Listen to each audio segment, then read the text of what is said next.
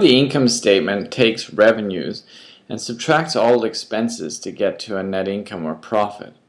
Now the way the order in which this is typically structured is that it starts with cost of goods sold through to operating expenses and then those expenses that are less tied to operations such as interest and income tax.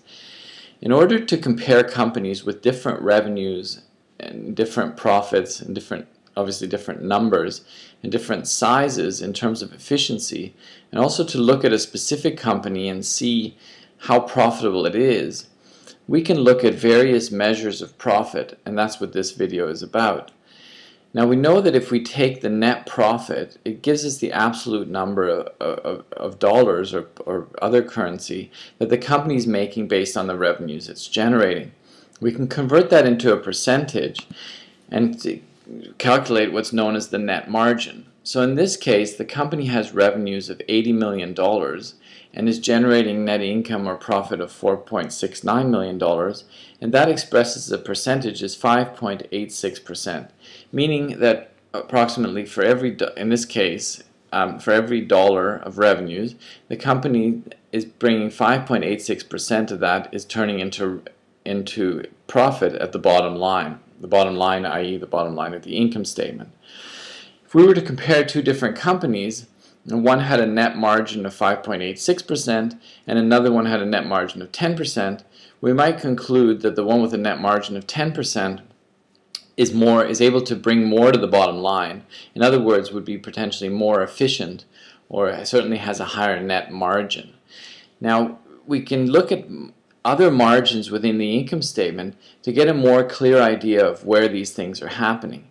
If we look at the net margin, obviously the net margin is taken into account the income tax expense and the interest expense, both of which aren't purely related to the operations of the company. The interest expense being influenced by the capital structure of the company, i.e. the amount of debt versus the amount of equity that it has to finance itself, and the income tax expense being influenced by the tax regime of that country or state or the particular legislation at that time. So if we were to compare companies in different states or regions or countries with different income tax regimes, we wouldn't really be getting an idea of the profitability of the company from an operational level. So what we what analysts often do is they look at the operating margin of the company. The operating margin is defined as the operating profit, in this case $12 million, divided by the revenues of $80 million. So what it gives is the percentage of the revenues that comes through as operating profit. And it measures the efficiency and the profitability of the company if we ignore the tax and the financing considerations that take place in the income statement below the operating profit line.